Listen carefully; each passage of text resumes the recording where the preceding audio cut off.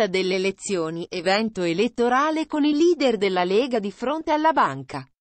Sono qui in difesa di ogni singolo posto di lavoro legato a MPS. Raccoglieremo le firme che porterò personalmente al presidente Draghi perché MPS diventi insieme ad altre banche il terzo polo bancario di questo paese. Non accettiamo svendite.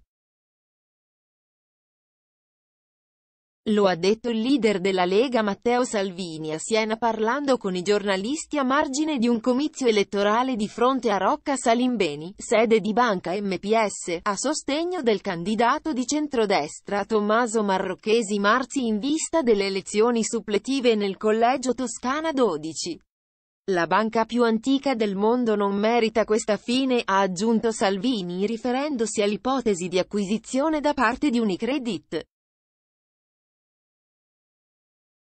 Seletta si candida qua inventandosi un simbolo senza il PD e pensando di aver già vinto secondo me sbaglia, anche gli inglesi pensavano di aver già vinto la finale degli europei, ha poi detto Salvini nell'incontro elettorale a sostegno del candidato di centrodestra alle elezioni suppletive, Tommaso Marrocchesi Marzi. Parigi lo aspetta e faremo in modo che possa tornare là dove si trovava prima, ha aggiunto Salvini.